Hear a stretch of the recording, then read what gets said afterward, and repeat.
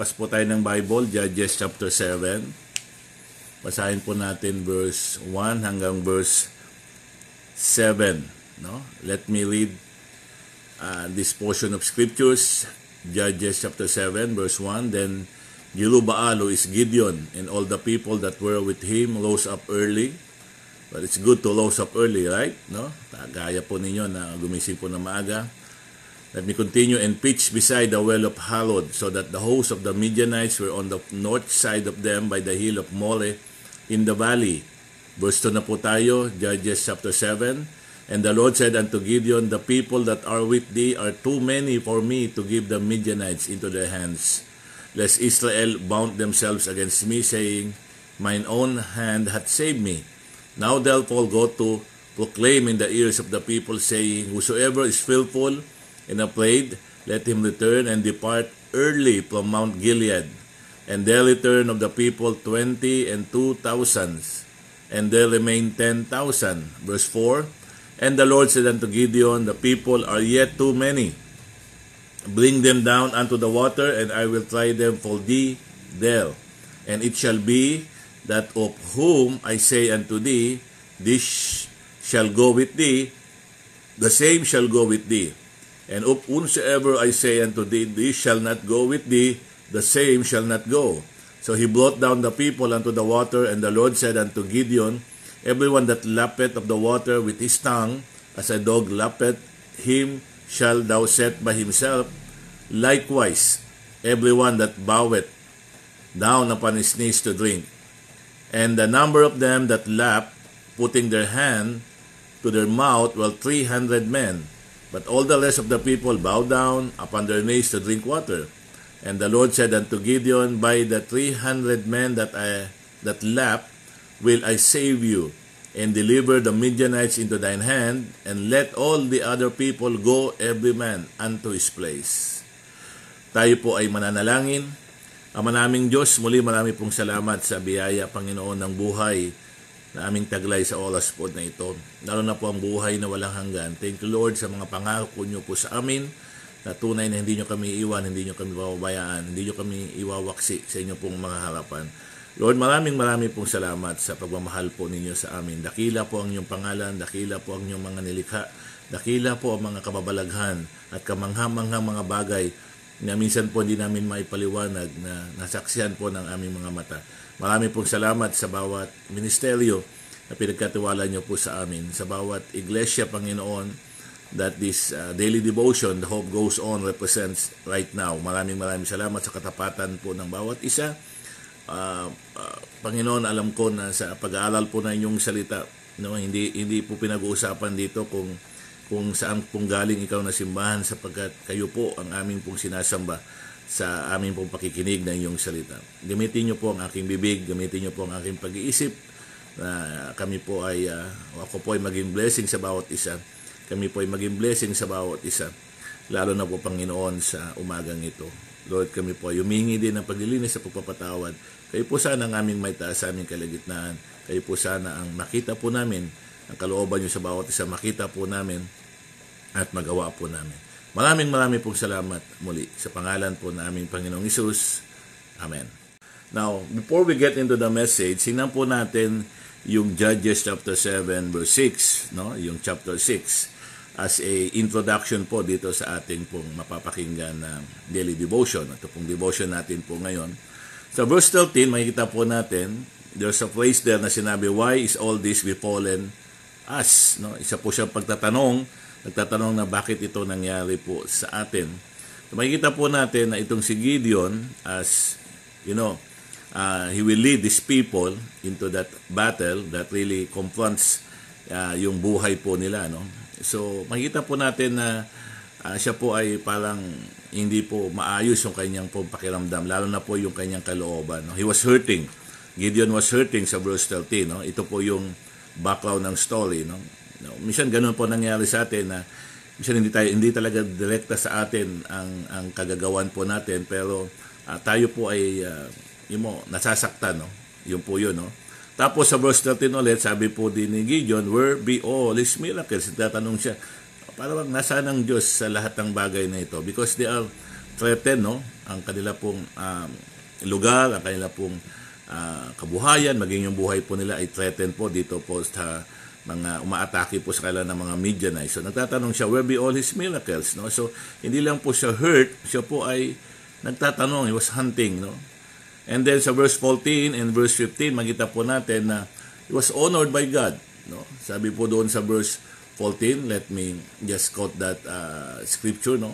Sa 14, sabi po dyan, And the Lord looked upon him and said, Go, in this thy might, and thou shalt save Israel from the hand of the Midianites. Have not I sent thee?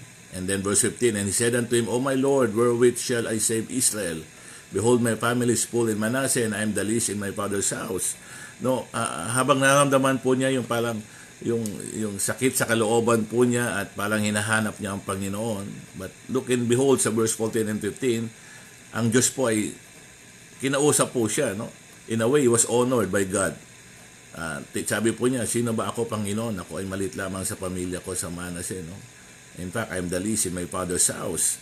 Pero makita po natin na ang Panginoon po, di man talaga tumitingin kung ano po ang kalagayan mo, kung sino man. Kung ikaw ay maliit man sa, tingin, sa iyong tingin, sa iyong pamilya, kung, kung saan ka man nandoon ngayon. Kasi ang Diyos po tumitingin sa sa kalooban po natin. At siya po talaga ang tunay na nakakaalam ng atin pong kalalagayan. So, uh, kahit po na siya po ay nasasaktan, siya po ay naghahanap sa ating Panginoon, God honor Gideon. No? Alam niyo po, napakaganda na yung ating tingin sa ating sarili ay uh, hindi pareho ng tingin ng Diyos po sa atin. And that is true. Totoo po yun, no, na kahit tingnan po natin ating sarili na para bang mahina, hindi natin kaya, pero pag ang Panginoon po ay um, tiningnan po tayo, may, may nakikita po siya na potensyal sa bawat sa po sa atin na ang kabaligtaran din po niyan is that maaring ang tingin mo sa iyong sarili ay napakataas, ang tingin mo sa iyong sarili ay maaring ikaw ay you know, napakagaling, no? Pero minsan hindi ganoon ang tingin ng Diyos po sa atin, no? Hindi po ganoon, no? So wag po tayong magmamalaki, wag po tayong gagawa ng mga bagay na ang uh, ang tingin po natin sa ating sarili ay para bang tayo po ay napaka uh, taas na no sapagkat ang Diyos hindi po ganoon ang ang ang tingin po sa atin So ganun po, no? He was hurting, he was hunting, he was honored. And then verse 15, nabasa ko kanina, natulungan po siya ng Diyos. He was helped, no? So sa verse 17, makita po natin that still, uh, he was hesitant, no? Sabi sa verse 17, And he said unto him, If now I have found grace in thy sight, kung Panginoon, kung talagang uh, kung magkakaroon ako ng magandang pagtingin sa inyo o bibigyan niyo ako ng biyaya, see, kahit po siya sinabihan na ng Panginoon, he was honored, no? Eh, and ano pa siya, nagdadalawang isip pa po siya, no? And then, doon po sa verse, uh, chapter 7, verse 2, ito na po yung binasa natin kanina, he was humbled. No, he was humbled. Siya po ay uh, ibinaba na ng, ng ating Panginoon. Minsan yung pakiramdam kasi natin na ano eh, na para bang hindi natin kaya, para bang hindi tayo kalapat dapat, sa tingin siguro ng tao parang okay lang yun, normal lang yun. Pero sa tingin ng Diyos, hindi nga eh. Ang tingin ng Diyos ay para tayong uh, tayo lang ang nagbababa sa ating pong sarili. No? Yeah, tama. Lagi po tayo dapat nagpapakumbaba. Kasi yun po yung nais po ng Diyos eh.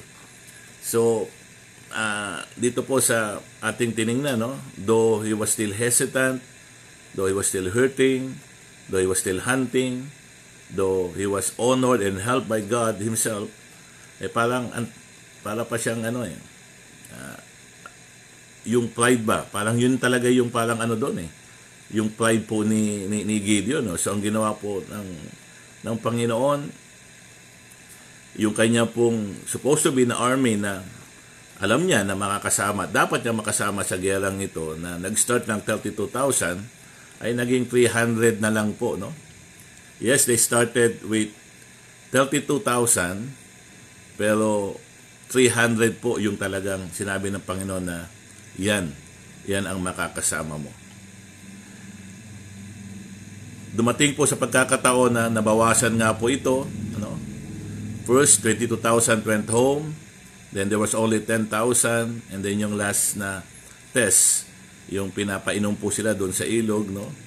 The ones that lap like dog, So oh, hindi hindi po ano, hindi na parang aso ay uh, lumalabas na around 9,700 po yan, no? So that left Gideon 300 men. So yan po yung nang, nangyari, no?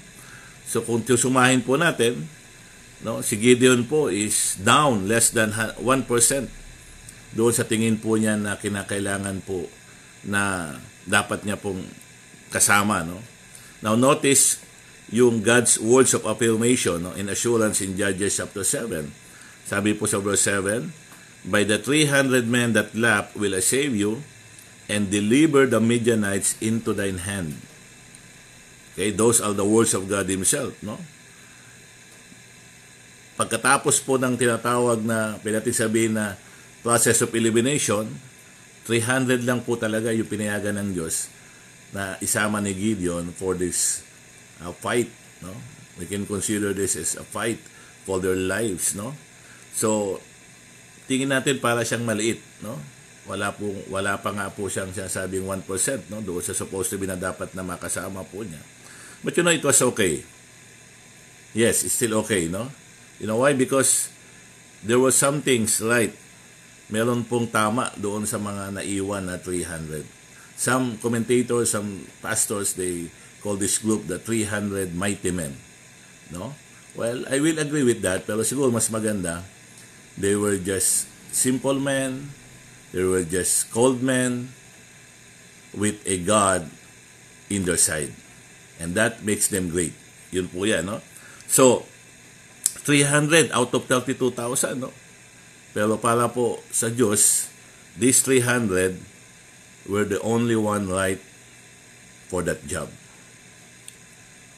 Alam niyo po sa atin, may mga pagkakataon, especially in this pandemic, lalo po sa aming mga pastol, na, well, willing naman mag-adjust. Willing naman po ang church gumawa ng mga tinatawag na mga new normal. Uh, uh, sabi nga natin parang style of worship. No? Kaya dumating po yung mga live streaming, dumating po yung mga uh, parang mga Zoom meeting, no? kung saan doon ginagawa po yung tinatawag na, na, na, na worship o kaya pagbabahagi ng salita ng Diyos, just like what we are doing right now, no?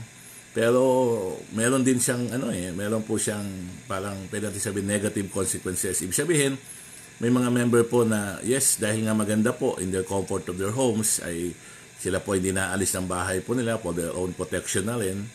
Kaya lang meron po siyang downside, no? May mga pastor po ako nakausap na talagang naapektuhan po yung kanilang service, naapektuhan po yung face-to-face service po nila actually. Naapektuhan din po yung tinatawag na uh, financial capacity ng bawat church. So, so yun po yung nangyari, no? So I don't know kung ano po ang talagang dahilan pero siguro ito po ay um, isa sa mga dahilan, no? Uh, marami po ang na-distract, marami po ang na-discourage. So, nung finally na pwede na mag-open ang mga agawain, so yung iba po hindi talaga nakabalik. No, hindi na po bumalik o hindi na po talaga nakabalik o sad to say ay parang sila po ay masaya na doon sa tinatawag na live streaming. Do open naman na sana, pwede naman na sana. O sabi ko nga eh, especially sa aming church na last year na sabi ko, we we heard some preaching, challenge sermon from the missionaries na alam ba yun yung bang sa kailang mga lugar, especially doon sa restricted access nation na yung LAN, talagang pinagbabawal po ang service doon, no? Pero bakit nakakapag-service pa rin sila?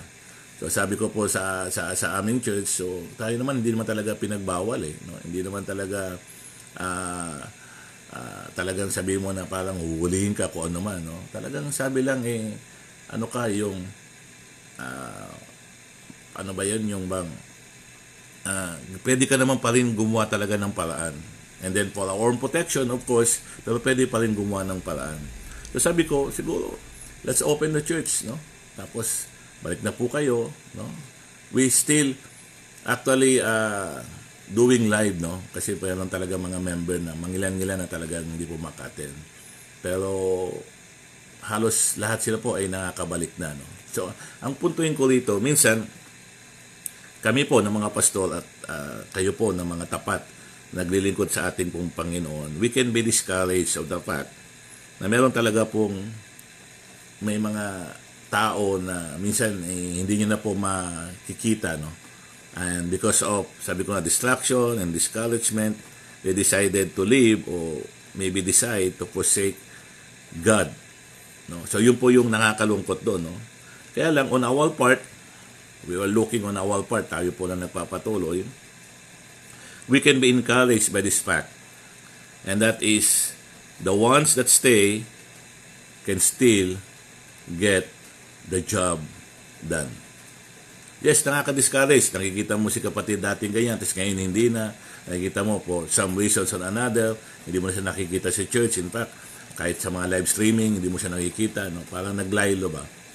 So, nakaka-discourage po yun. No? Pero on the other hand, we can be encouraged by this fact na ikaw, kasama ng uh, yung pastor at kasama ng yung kapatid sa pananampalataya ay nakikita mo pa rin malamang na kayo ay lumiit, kayo ay kumonte, but you are actually the ones that stay can get the job done.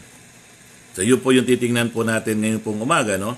And sometimes, it is not the number, but sometimes, or most of the time, it is the unity. Even of those small numbers can do something right for God.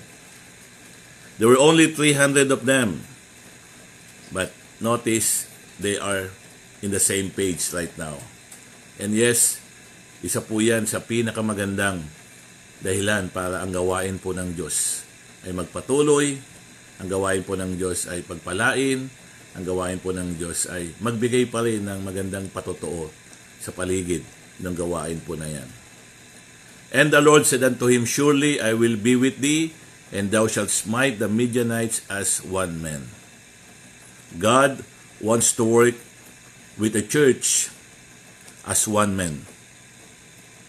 Nais po ng Diyos na pagpalain, nais po ng Diyos na kanyang ipagpatuloy ang kanyang gawain bilang isang iglesia na parang isang tao lamang. So, what was it about the ones that were left that was so right? What was right about who was left? First, tingnan po natin sa verse 3 doon po tayo sa chapter 7 ng Judges. No? Sabi diyan, Now therefore go to proclaim in the ears of the people, saying, Whosoever is fearful and afraid, let him return and depart early from Mount Gilead. And there return of the people 20 and 2,000 and there remain 10,000. The first elimination po yan. No? Now, yung mga pong natira, yes, meron pong uh, magandang character po sila, no? Compare doon sa mga umalis, no? First, their heart was in it. Yung puso po nila talaga ay doon. Yung puso nila na talagang nag, nag, nagbibigay po ng tinatawag na uh, uh, ng buhay para po doon sa kalawalatian ng Diyos. They decided to stay. In fact, they decided, they decided to stay in spite of yung impending danger, no? No? Yung kanila pong lugar is talagang, kumbaga sa ano, parang parang inano na eh, yung inabuso na, no? So, may mga umalis na rin, no? And then imagine yung yung feeling po ng mga natira? Imagine how you feel kapag yung mga kasama mo ay biglang iniwan ka na. No? So nakakalungkot po 'yan, no? So ano po yung tama? What was right about who was left? Their decision to stay. Your decision to stay sa iyong gawain kung saan ka man nilagay ng Panginoon yan po yung tama. Yan po yung nais ng Diyos. No? So you need to stay where you are right now, kung saan ka man gawain, you need to stay there. Okay? Mahalin mo ang lingkod ng Diyos. Mahalin mo ang kanyang Diyos at mahalin mo ang kanyang salita. Nasa tama kang lugar ngayon. Ano pa? Their diligence to survive. Sabi, sabi, sabi po sa verse 5 and 6. No? So he brought down the people unto the water. And the Lord said unto Gideon, Everyone that lappeth of the water with his tongue, as a dog lappeth him, shall thou set by himself. Likewise, everyone that boweth down upon his knees to drink. And then the number, yun na nga po, naging 300 na lang. So yung diligence po nila to survive, no? Again, those that lap water like a dog on their face were actually depending on somebody else to look out for them. But notice, Those that knelt and drank for their hand, no, parang ganyan, they were constantly aware of their surroundings. So, ito po mga tao na ito, ayaw man, na, ayaw man nila o, o sa hindi, o ayaw man nila o sa gusto man nila, they were called soldiers na eh, no? They, they are soldiers already, no? Kaya lang, these men are not only soldiers, no? Physically, but they are really soldiers sa isip at sa puso po nila. And we need soldiers of God right now, lalo na po sa kalagayan natin ngayon. Soldiers that will stand, soldiers that will serve, and soldiers that will, you know, support the, the, the, the ministry of God, the church of God, especially in this time of pandemic. So they were not soldiers in name, but soldiers indeed.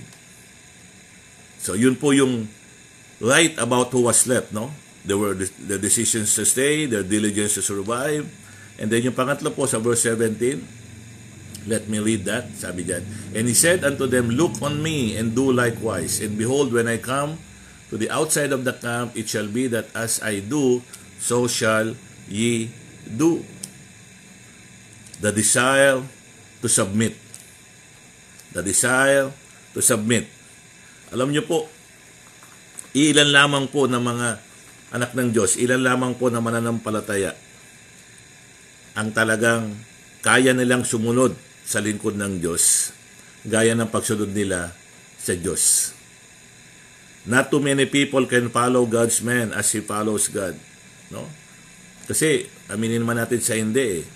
Uh, may mga kanya-kanya po tayong agenda. No? At may mga gusto po tayong gawin na, na isang bagay para sa Diyos, pero sa kanya-kanyang pamamaraan. But you know, hindi po hindi po palaging dapat ganoon, especially sa isang gawain na katulad po ng isang iglesia. Yes, we believe that Jesus Christ is the, the, the leader, the head of every church, no? the New Testament church no? in the Bible.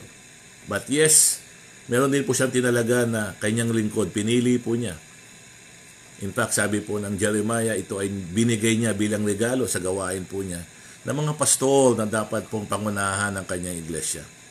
And tayo po na mga membro, tayo po na mga sumusunod sa Diyos, ay dapat nakasuporta din doon po sa sa mga pastol na nilagay niya po sa atin. No? Wala wala pong perpektong uh, membro, wala din perpektong pastol, no? Tanging perpekto lamang ay ang ating Diyos, no? Siya lamang po ang talagang merong katotohanan, siya lamang po ang merong tinatawag na na na na, na kapangyarihan, no? hindi lang para magpala, para tayo po ay makapagpatuloy sa kanyang gawain. Pero meron talaga pong itinalaga ang, ang Diyos no, sa kanyang gawain na isang leader, na isa pong pastor, na dapat po nating uh, sundan, dapat po nating sundin, o dapat po nating irali ba, no? Para ang kanyang kalooban, ng kalooban ng Diyos ay mangyari po sa ating mga gawain. So, napakahirap, napakahirap po, no? Lalo po sa mga tao na ito na naiwan kasama ni Gideon na, na sumunod. But I believe, in their heart, meron na po talaga silang uh, desisyon na sumunod dahil alam po nila na they were actually guided by God Himself, no? So, yung desire po nila to submit, nando doon. Yes, they were right. Ito po yung mga tao na ito na nananatili, no? Their decision to stay, their diligence to survive, and their desire to submit we need to submit more than ever. Dahil na po sa lingkod ng Diyos. No? And because we love God and we want to obey God, to serve God, we really need also to obey the man of God. Support Him. Bigyan po natin sila ng encouragement. Kasi hindi po madali ang uh, maging leader, no? especially ang maging lingkod ng Diyos. No? Marami pong sinasalang-alang yan. No? Pero with our support, with your support, with your prayers, with everything, para po sa kalawalatian po ng Diyos, ay magagawa po yan. And then, of course, sa verse 18 to 20, ito na po, no? Sabi yan, When I blow with the trumpet, I and all that are with me, then blow ye the trumpets also on every side of all the camp, and say, The sword of the Lord and of Gideon. Their dedication to shout. To shout no? Alam niyo po, ito pong ito pong pag pag uh, sigaw po nila, pag shout po nila, there's no actually power in that, no? Kaya lang kasama po ito doon sa obedience na, na, na gustong makita po ni Gideon, lalo na po ng Diyos sa grupo po na ito. Notice, they were outnumbered. 300, paano po mananalo sa libo, uh, sa mga daang libo na mga kalaban po nila, no? Yes, they were outmanned, they were outgunned, no? yung kanila pong tao, yung kanila pong mga almas ay talaga naman pong hindi naman ganun karami, napakakonti kumpara sa kanilang kalaban, no? And yes, they were out of their comfort zone. No, these these people hindi naman talaga sila trained soldiers, no? Hindi they are not cut out in this kind of event, no? Hindi po sila ganoon, no? They were out of their comfort zone. But notice that did not rob them out of their shout. Well, may God give us a group of people that will shout when others are just, you know, nasa likod lamang, no? Para bang walang pakialam sa nangyayari, no? May God give us a group of people that can shout, that can praise God, because it is really God who fight for this humble man. Ang Diyos po talaga ang lumalaban po dito eh, no? Well, ano pa ba? Last po sa verse 19 to 20, their determination to shine. Sabi po sa verse 20, And the three companies blew the trumpets and brake the pitchers and held the lamps in their, la- in their left hands and the trumpets in their right hands to blow withal. And they cried, again, the sword of the Lord and of Gideon. Their determination to shine is what right to what is left in this group. In spite of the blows, in spite of the brokenness, in spite of the battle, na hindi naman po nila ito tinoin, hindi po nila ito, well, hindi nga sila mga talagang sabihin natin na mga uh, sanay sa ganito mga pangyayari, no? But that did not stop them to let their light shine sa kalagitnaan po ng panganib na ito. You know, this pandemic really shows us a lot of things na hindi po natin nakasanayan. No? But don't let your potential, don't let your uh, uh, opportunity to really serve God stop you, especially in shining your own light. Huwag po nating hayaan, no? Yung panganib, yung banta, mag-iingat pa rin po tayo. Pero wag mong wag mong wag maging dahilan no itong ating pandemic o lahat ng mga ginagawa natin na sabi nila ay nasa new normal. Tigilin po na yung liwanag ng Diyos na dumadaloy sa iyo, yung liwanag ng Diyos na dapat makita ay hindi na po, hindi na po makita. So these people, in spite of their blows, their brokenness, and even the battle, no, the the threat in their life, they still let their shine they still let their light shine. So sa atin po pagkatapos, again, tandaan po natin, ang tapang po. No? The courage is doing what we are to do. Wala pong tapang kung wala pong panganib, wala pong tapang kung wala pong banta, o wala pong tinatawag na parang takot. No? So kinakailangan po natin na na ipakita ito lalo na po sa panahon ngayon. I can say there's still enough courage here exhibit by these 300 men and more. So they achieved the most important lesson po na dapat malaman po, lalo na po tayo mga Kristiyano ngayon, regarding po sa sikreto po ng isang matagumpay na pananampalataya. What was right about who was left? Everything was right. Everything was right because they act as one of course, under the guidance of our great captain, none other than the Lord Jesus Christ Himself. Huwag po tayong ma-discourage no pag may mga kapatiran po tayo na hindi na po natin nakikita o may mga may mga bagay po na para bang uh, gusto tayong patigilin lalo na po sa panahon ngayon no instead still let your light shine before men that they may see your good works So muli marami pong salamat, no? Marami pong salamat uh, Doc Jess sa pagkakataon na ito at maraming salamat po sa bawat isa. Uh, magpatuloy po tayo, no? You know, this is the the the, the perfect time to continue what we're doing uh, for God right now, what we're doing for His church right now. This is the perfect time. Dito po natin ipakita, no? Na kahit iilan lang po tayo, no? kahit iilan lang po tayo, ipakita pa rin natin na meron tayong isang makapangyarihan ng Diyos. Meron po tayong isang Diyos na talagang pwede pong uh, lumaban po sa atin. We have our great captain leading us to this new normal life, this new normal condition. And this is the right time that we can do that. So muli, maraming maraming pong salamat. Tayo po ay mananalangin po.